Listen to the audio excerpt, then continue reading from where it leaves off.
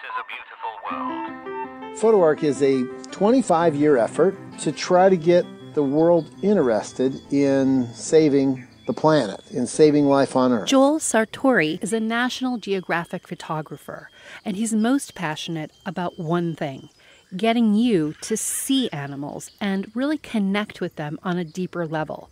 Over the past two decades, Joel has photographed over 5,000 animals for a project he calls the Photo Ark, collecting images of animals great and small who are all endangered or under threat.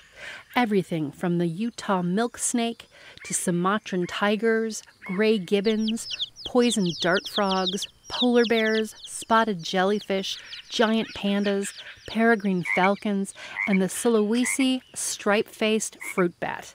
Joel takes their pictures and collects them in his photo ark. I was really concerned that people weren't really engaging with wildlife, and I thought, what's the simplest way to do this? And I thought, well, we'll, we'll eliminate all distractions and just be able to look these animals directly in the eye, and we'll make them all equal size without comp- size comparison, there's nothing in the picture but the animal on a black or white background. A mouse is every bit as important and lovely as an elephant.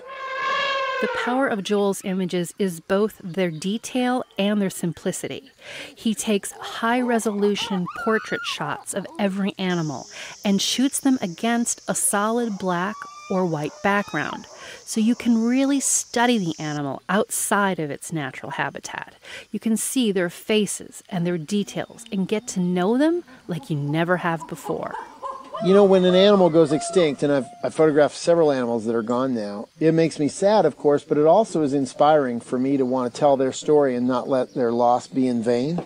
Uh, I just try to let the world know that this is critical, and as these species go, so could humanity. After all, when we save these other species, we're actually saving ourselves. We have to have bees and butterflies to pollinate fruits and vegetables that we eat. And we have to have healthy, intact rainforests, not just for the animals that live there, but because they regulate our climate. They allow precipitation to come where we know how to grow crops. So there's a lot in it for humanity to save all the other life forms. Joel has taken his favorite images from the photo ark and published them in a book called Photo Ark One Man's Quest to Document the World's Animals. It contains over 500 images of rare and endangered animals.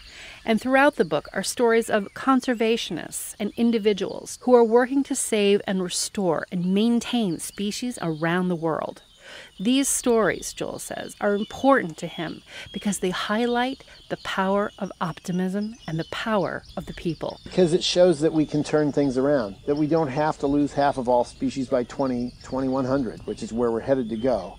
We need to save big blocks of rainforest, big blocks of ocean. We need to preserve habitat, not only for the species that live there, but for ourselves. We have to have clean air, clean water, food to eat these are we're talking about big issues here and i want to show people that are doing positive things and getting real results. And you don't have to save the whole world you can just save what's in your backyard. And that's literally what those people are doing. So I, they are heroes to me. Joel says everybody can help. You can become a member of your local accredited zoo, and you can start backyard projects that help animals, like creating habitats for them or food sources, like planting milkweed to help monarch butterflies.